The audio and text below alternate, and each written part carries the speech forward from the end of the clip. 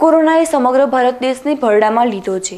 ત્યારે બનાસકાંઠા જિલ્લામાં જિલ્લા કલેક્ટર આનંદ પટેલ દ્વારા દરેક તાલુકાઓમાં કોવિડ કેર સેન્ટર ચાલુ કરવા માટે નિર્ણય લેવામાં આવ્યો છે.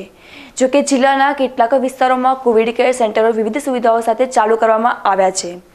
જ્યારે કે બનાસકાંઠા જિલ્લાના લાખણી તાલુકામાં ઉત્સાહી યુવાનો દ્વારા પણ લાકડી પંથકના કોરોના સંક્રમિત દર્દીઓને તાત્કાલિક સારવાર મળી રહે તે માટે કોવિડ કેર સેન્ટર ઊભું કરવામાં આવશે. જેમાં લાખણીના સરસ્વતી વિદ્યાલયના ટ્રસ્ટી અને મંત્રી સુરેશભાઈ અભાભાઈ પટેલે કોરોનાના દર્દીઓને તરત સેવા મળી રહે તે માટે શાળાનું મકાન દર્દીઓને સેવાર્થે આપવા બનાસકાંઠા જિલ્લા કલેક્ટરને વિનંતી કરી હતી.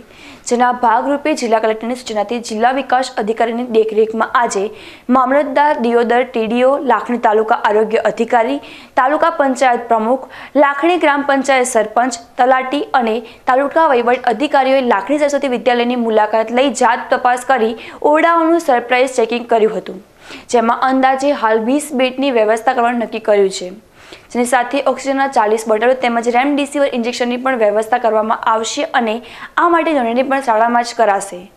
જેમાં લાખણી તેમજ આજુબાજુના લોકોને સરળતાથી સીધો ફાયદો થશે અને કોરોના સંક્રમિત દર્દીને સારવાર મળી રહેશે.